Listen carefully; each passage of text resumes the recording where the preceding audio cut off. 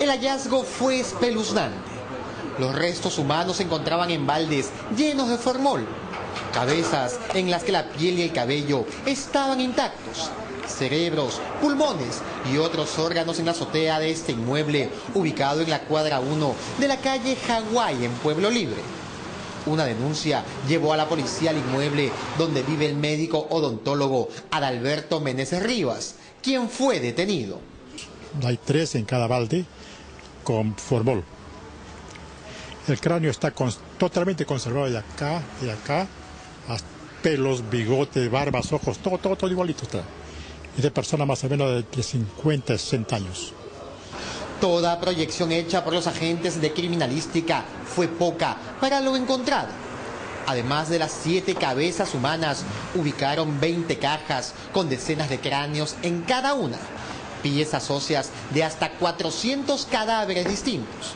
Fue Juan Echevarría, esposa de Meneses, quien hizo pública la impresionante colección del cirujano odontólogo.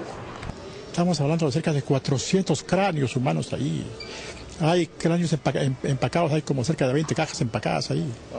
Además de la policía, un fiscal, especialistas del Instituto de Medicina Forense y peritos en criminalística se desplazaron a la casa la procedencia de estas piezas y si alguna de ellas es consecuencia de un acto homicida. Es uno de los puntos de investigación. Meneses señaló ante los efectivos que se trataban de donaciones de sus alumnos. Familiares de su cónyuge indicaron que la habría mantenido secuestrada.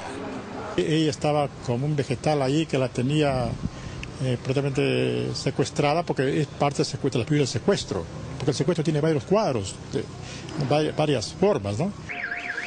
Pero si lo encontrado en el último nivel de la vivienda fue impresionante, lo hallado en la sala de Meneses también resultó impactante. Huesos convertidos en cuadros, utensilios de cocina, marcos, relojes y distintas variables que Meneses consideraba auténticas obras de arte. Hay un hueso de, hecho todo el dibujo humano y tocando un saxo. Cuadro de, para jugar damas. Cuadros con restos humanos. Y eso le dice a la policía de que eso lo hace cuando ya el, el hueso humano ya no sirve para las prácticas. Meneses quedó bajo custodia en la delegación de Pueblo Libre, mientras el material fue incautado para continuar con las pesquisas.